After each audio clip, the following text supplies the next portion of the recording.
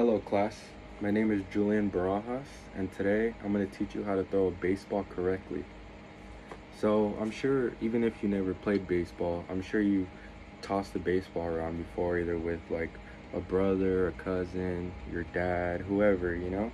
So today I'm just going to be showing you how to actually throw a baseball correctly. So first thing we're going to do is we're going to get the ball, obviously.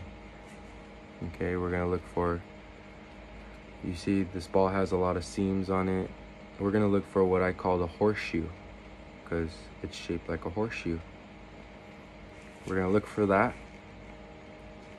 Okay. And our two fingers, our middle finger and our index finger are gonna go across the horseshoe just like that. It should, with your thumb under the ball, it should look something like that. And all we're gonna do is when we are about to throw it, we're gonna get that grip, the horseshoe, find the horseshoe, put your fingers across with thumb support at the bottom.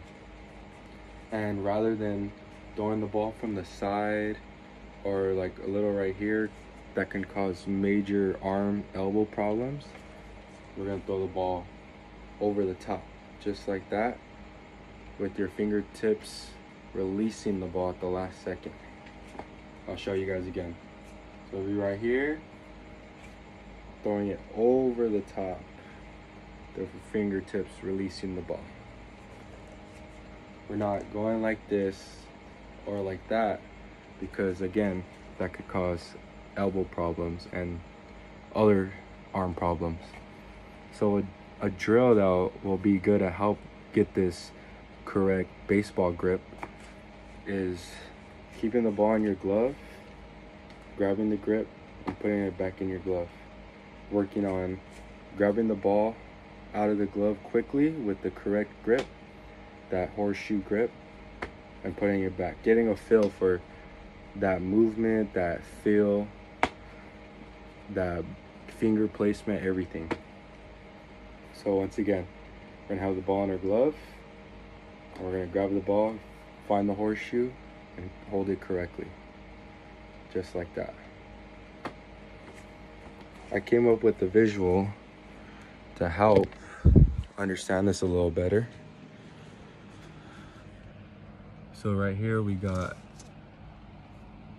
we got the baseball, we have the ball in its horseshoe, and we have the finger placement of where the finger should be across the horseshoe, and I have steps.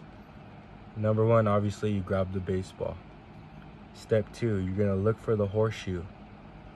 Step three, you're gonna place the fingers across the horseshoe correctly, how it's displayed and how I showed you guys. Step four, you're gonna throw the ball over the top, like I showed you guys, and you're gonna finish throwing the ball off the fingertips. Follow those steps and you guys will be good.